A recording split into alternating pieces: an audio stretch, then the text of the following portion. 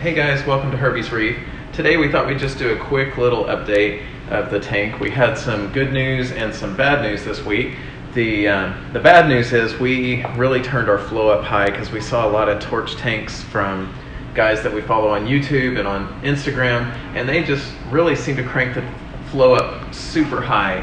And when we did that, our holy grail that we had hated it and it ended up dying. So, of course, when you do something new and something stupid, it always takes out your very most expensive item, and that's how it uh, followed this week.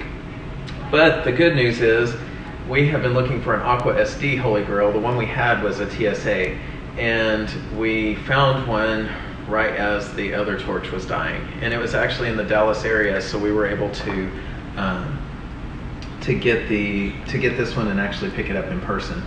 I hope it is a good one because it seems like a little bit of an aggressive cut to me, um, but it is really pretty and colorful.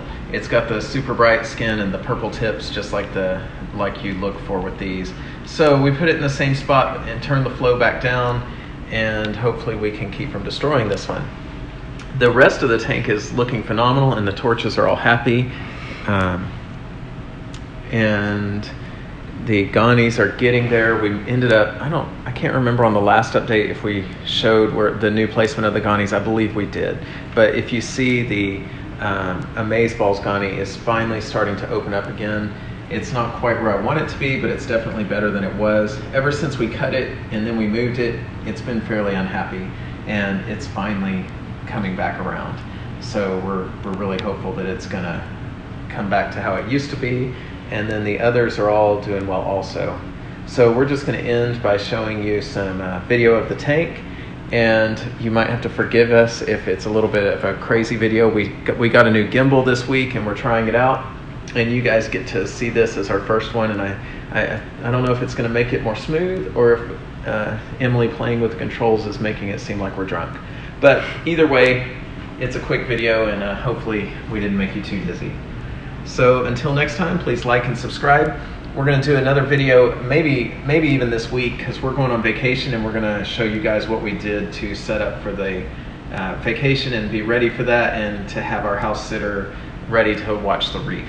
Uh, so we're going to try to do that and then maybe we'll do a video on, we've recently got a backup generator and I actually installed a generator transfer switch in the house and we uh, I can tell you the process we chose went through to choose a generator and to decide on how big of one to get and what kind to get and all that. If you guys are interested, please comment and let me know if that interests y'all, um, or if you think it would be boring, then let me know that also.